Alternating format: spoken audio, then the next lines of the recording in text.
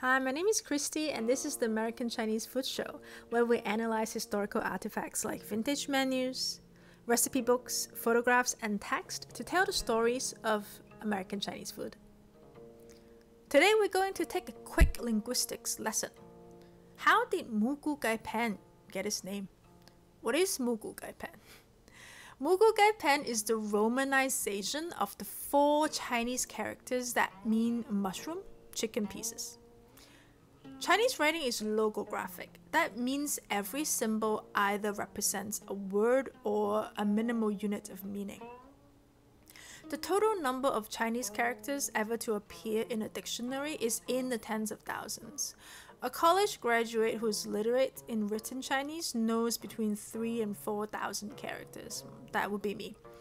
I learned how to read and write Chinese characters by repeatedly writing the same words again and again and again since kindergarten. So if you did not grow up in that environment, romanization is your friend.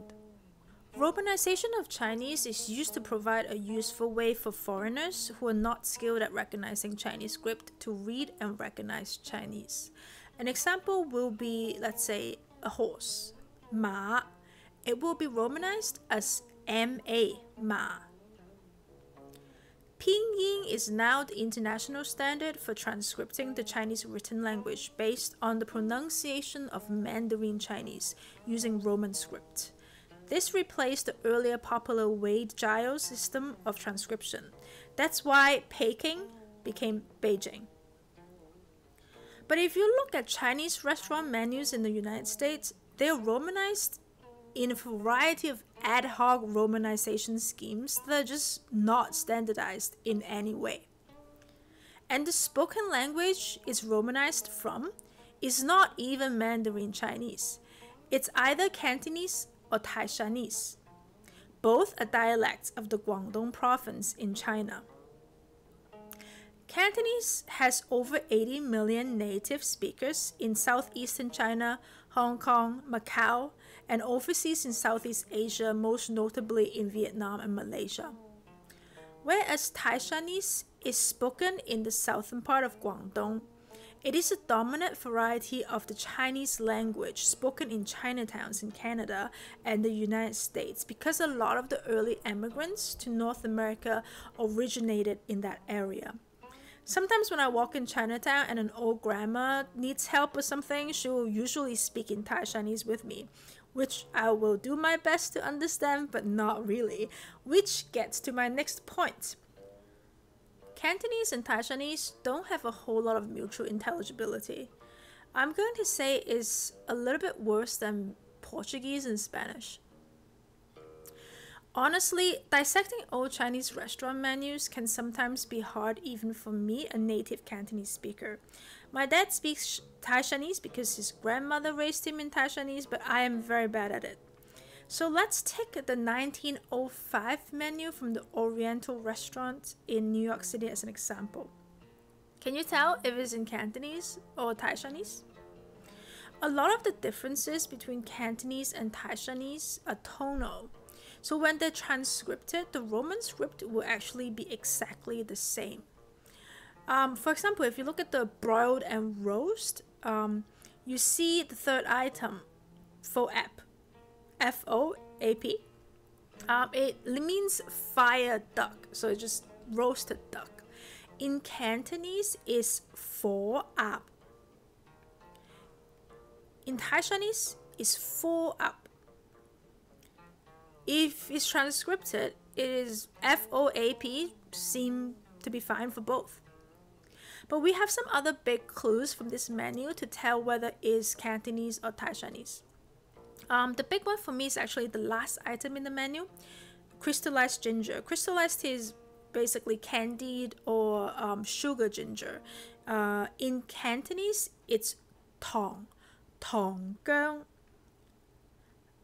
But in Taishanese, it's hong, hong gong. So this leads me to believe, huh, maybe this one is a Taishanese menu. And then I see the item under rice, the first one, andoi. That's absolutely Taishanese. Uh, doi is a very specific Taishanese pronunciation. It means um, a little boy or little, and here means lunch. So the, this five cent item is like a little lunch. So why does it matter? like why does it matter whether it's Cantonese or Taishanese? Well, the combined use of Cantonese and Taishanese created quite a lot of confusion um, uh, in Romanized Chinese items in menus. It led to some differences in Romanizations, for example, like noodles. Right? I believe it's now standardized now to men, M-E-I-N, so chow mein. But at the turn of the last century, you can see spelling from M-E-I-N, M-I-N, min to M-A-I-N, main. Um, it's because in Cantonese, um, noodles is min, so it's more like M E I N.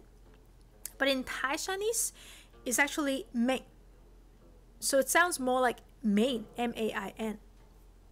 Chop suey, on the other hand, is definitely Cantonese um, because chop it means mix. Um, in Cantonese is zap. In Taishanese is actually pronounced as tap, tap suey. So going back to the original question that I asked the beginning of the episode, how did Moo Goo Gai Pan get its name? If it's romanized from Cantonese, the spelling actually would be different. It should be pin, P-I-N. Um, as seen in this menu from Shanghai Lo in San Francisco in the 1930s. Because in Cantonese it's Mo Gu Gai Pin, Pin. But in Taishanese, it's pen, the correct romanization would be P-A-N. Mo gai pian.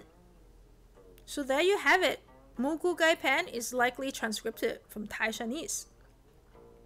I'm not sure how useful this episode is for you all, but I find it fascinating that today, when an American orders in Chinese restaurants who has no knowledge of the Chinese language, he or she is actually saying a combination of Cantonese, Taishanese, and Mandarin. How cool is that? If you like our content, subscribe to our channel. See you soon!